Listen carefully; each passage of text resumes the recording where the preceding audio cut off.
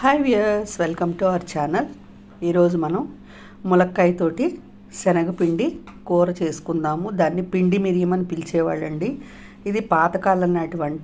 మా అమ్మమ్మ గారు చేసేవారు. మా అమ్మగారు కూడా చేసేవారు. చూడండి ఎంత బాగుందో.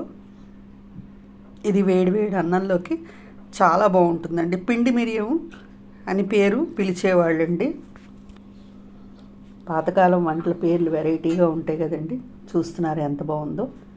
దీనికి ఏమేం కావాలి ఎలా తయారు చేసుకోవాలి అనేది మనం ఇప్పుడు చూసేద్దామండి.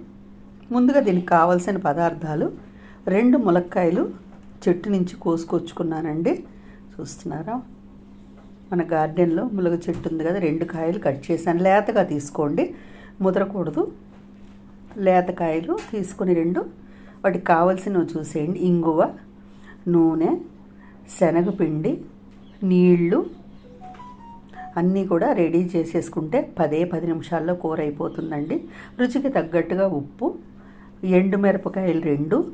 ఈ ఎండుమిరపకాయలే కారం అండి. మనం విడిగా కారం అనేది వేసుకోము. మీకు ఇంకా కొంచెం కారం తింటామంటే ఇంకొక రెండు కాయలు వేసుకోవచ్చు. శనగపప్పు మినపప్పు ఆవాలు జీలకర్ర పసుపు. కొద్దిగా కరివేపాకు. ఇవి దీనికి కావలసిన వస్తువులు. ముందుగా మనం ములక్కాయల్ని చక్కగా చిన్న చిన్న ముక్కలుగా కట్ చేసేసుకొని కూర స్టార్ట్ చేసేసుకుందామండి. చూస్తున్నారా? ములక్కాయలు కట్ చేశాను. ఇంకా గింజ కూడా ఫామ్ అవ్వలేదండి. చాలా లేతగా ఉంది. చూడండి. ఎండుమిరపకాయలు కూడా అలాగే ముక్కలు చేసేసు ముక్కలు చేసేసుకున్నాను. అన్నీ మీకు చూపిస్తున్నాను చూడండి. చాలా టేస్టీగా ఉంటుందండి. మా అమ్మగారు చేసినప్పుడు ఈ కూర మేము తినేవాళ్ళం. మీ అందరికీ చూపిద్దామని ఈరోజు చేస్తున్నానండి. ముందుగా నూనె వేసేసుకొని ఒక ప్యాన్ వేడి చేసుకొని నూనె వేసుకొని అందులో తిరగమాత గింజలు వేసేసుకొని ఆవాలు చిటపట్లాడిన తర్వాత మనం ఇంగువ ఎండుమిరపకాయ కూడా వేసేసుకోవాలండి. తిరగమాత వేగుతున్నది. పప్పులు కూడా గోల్డెన్ బ్రౌన్ వచ్చే వరకు చేసుకోవాలి. ఈ రోజంటే మసాలా కూరలు ఇష్టపడుతున్నారండి. ఇది పాతకాలం నాటి వంట. మీ అందరికీ చూపిద్దామని ఈరోజు వీడియో చేశాను. చక్కగా శనగపిండి టేస్ట్ తోటి చాలా బాగుంటుందండి. కారంగా ఉంటుంది. మనం విడిగా కారం వేసుకోక్కర్లేదు. ఎండుమిరపకాయలే కారం అండి. ఇందులో ఎటువంటి మసాలాలు కానీ ఉల్లిపాయ కానీ వెల్లుల్లిపాయ కానీ మనం ఏమీ వేయలేదండి. వెనకటి రోజుల్లో అట్లాగే ఉల్లిపాయ చిన్నుల్లిపాయ అనేది తక్కువ వాడేవారు. ఇప్పుడు ఎండుమిరపకాయ కూడా వేసేసుకొని ఇంగు కూడా యాడ్ చేసేద్దామండి. పప్పులు కూడా కలర్ మారినాయి చూడండి. ఓసారి తిరగమాత అంతా కలియబెట్టేసుకొని మనం ఇందులో ఎసరు పోసేసుకుందామండి. ఎసరు అంటే ఉప్మా తిరగమాత వేసుకుంటాం కదండి. అట్లా చాలా ఈజీ అండి. పదే పది నిమిషాల్లో మనకి కూర రెడీ అయిపోతుంది. ఎక్కువసేపు మనం వెయిట్ చేయాల్సిన అవసరం లేదండి. మనకి జాబ్స్కి వెళ్ళే వాళ్ళకి కానీ పొద్దున్నే క్యారేజీలు కానీ హడావిడిగా ఉన్నప్పుడు ఇటువంటి త్వరగా అయిపోయే కూరలన్నీ కూడా మనం చేసుకోవచ్చండి. టైం వేస్ట్ అవ్వదు. మనకి టైము కలిసి వస్తుంది చాలా క్విక్గా అయిపోతాయండి. ఇప్పుడు చూసారా మిరపకాయలు కనపడుతున్నాయి పైన. ఇప్పుడు ఇందులో రుచికి తగ్గట్టుగా ఉప్పు పసుపు కూడా యాడ్ చేసేసుకుందాం. పసుపు వేయటం వల్ల మంచి కలర్ వస్తుందండి కూరకి. శనగపిండి కదా చక్క పసుపుగా కనపడుతుంది. ఉప్పు పసుపు వేసేసి మనం ములక్కాయలు కూడా వేసేసుకుందాం. ఇప్పుడు పసుపు వేసేస్తానండి. ఉప్పు వేసేసాను కదా ఎసట్లో పసుపు కూడా యాడ్ చేసేద్దాము. వేసేసి కలుపుకొని ఒకసారి మనం మూత పెట్టేసేసుకుందామండి. మూత పెట్టి మనం ముక్క ఉడికిన తర్వాత మిగతా ప్రాసెస్ చూద్దాము. ఒకసారి మూత తీసి చూద్దాం చూడండి. బాగా ముక్కలన్నీ చితికిపోయే వరకు కూడా ఉడకబెట్టుకోకూడదండి. చితికిపోయేటట్టు ఉడకబెట్టుకుంటే కనుక ముక్క మనకి ముక్కలు మొత్తం విచ్చిపోతుందండి. కాయ అంతా చూడండి ఇట్లా నొక్కితే మెత్తగా ఉన్నప్పుడు శనగపిండి అనేది కలిపి పోసేసుకోవాలి. చూడండి శనగపిండి కూడా నేను నీళ్ళు పోసేసుకొని విస్కర్ తోటి కలిపేసేసుకుంటున్నాను. ఉండలు లేకుండా మనం దీన్ని కలుపుకోవాలి. విస్కర్ తోటి కలిపేసేసుకుందాము. ఇది పల్చగా చేసుకోవాలండి. మనకి గరిట జారుగా ఉండాలి శనగపిండి అనేది. గట్టిగా కలుపుకోవద్దండి. కూర కూడా మీకు ఎంత పలచగా వద్దు అంటే కనుక గట్టిగా కూడా చేసుకోవచ్చండి.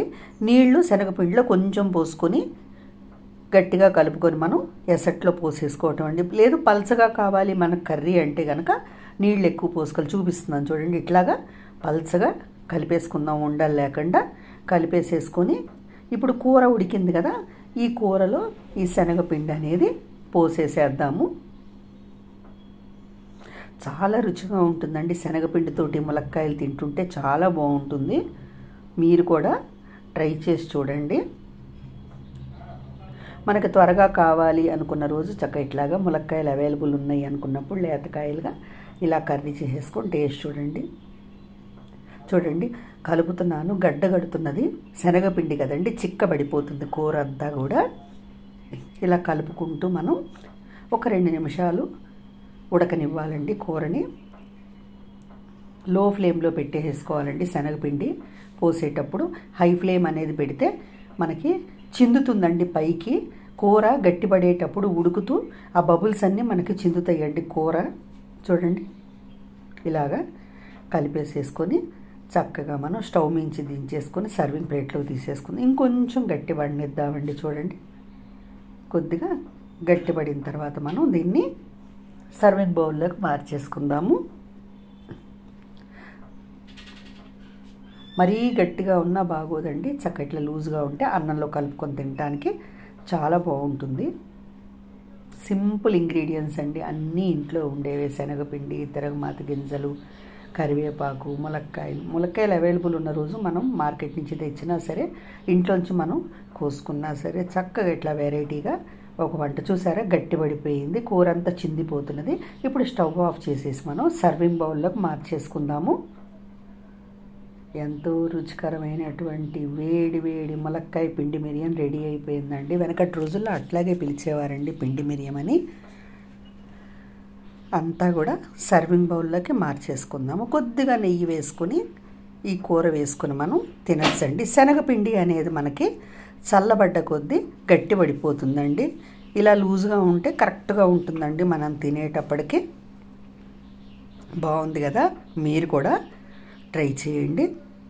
మీకు కనుక ఈ వీడియో నచ్చినట్లయితే లైక్ చేయండి షేర్ చేయండి సబ్స్క్రైబ్ చేయండి. చూడండి ములక్కాయలు చూపిస్తాను ఎక్కడా కూడా కాయ అనేది చిత్తకలేదు ట్రై చేయండి. Thank you.